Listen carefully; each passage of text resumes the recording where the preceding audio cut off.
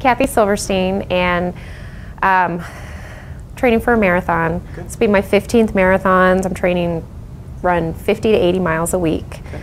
Mom, four kids, so I'm running all the time, Sure. fitting in with the rest of everything. I've been shopping here for 12 years. What else do you want to know? And your next marathon? Oh, my next marathon. I'm going to run Arizona Rock and Roll in January. Oh, okay. Yeah, that's a pretty, So- pretty fast course I've heard. Is it? Have you run it? No, No. I uh, I just know one of our one of our employees, Uh-huh. um, Greg Wyke, ran it last year Uh-huh. at age.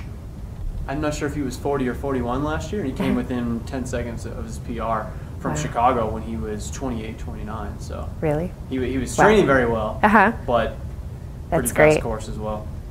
So you can definitely run fast on it. Do you normally run in a training shoe and have a, a faster workout shoe as well? I tried that, and I just don't switch back and forth very well. Okay. I wear orthotics and kind of, and then I lose track of which shoe is which. So I just run in the same shoe all the time. Okay, sure. What's your marathon PR?